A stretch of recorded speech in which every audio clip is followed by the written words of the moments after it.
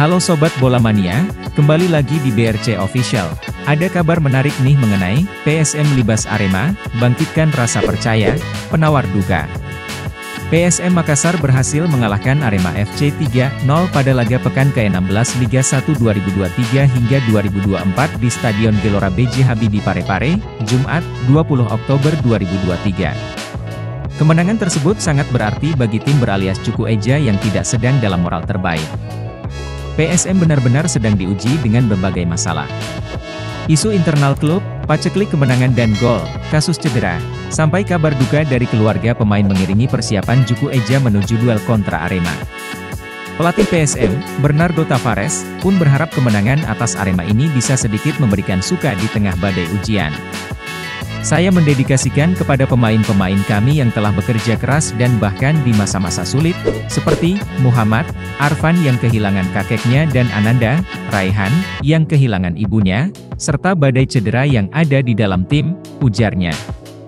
Selain itu, kemenangan ini bah hujan sehari di tengah kemarau panjang.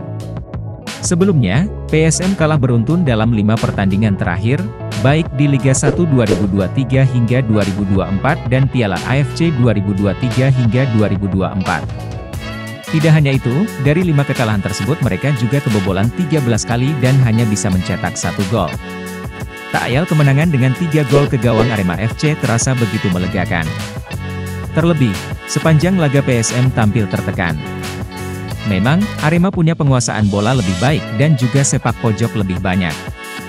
Tapi, pada babak kedua, kami punya banyak peluang untuk bisa cetak gol, ujar Bernardo Tavares.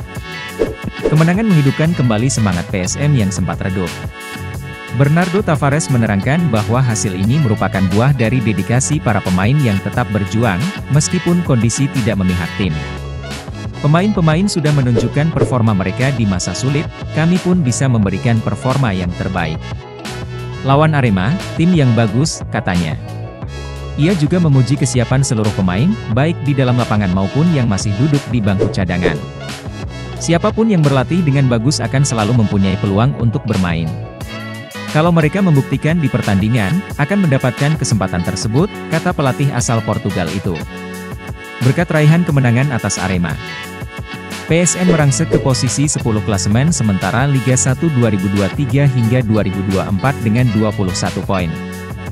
Hasil ini juga penting sebagai modal kepercayaan diri Yakob Sayuri dan kawan-kawan untuk menyongsong laga tandang babak penyisihan grup H Piala AFC 2023 hingga 2024 melawan Hougang, Rabu, 25 Oktober 2023, mendatang. Nah itu dia Sobat Bola Mania untuk update kabar kali ini. Bagaimana pendapat kalian sobat? Tulis pendapat kalian di kolom komentar ya sobat dan jangan lupa untuk like, comment, and subscribe.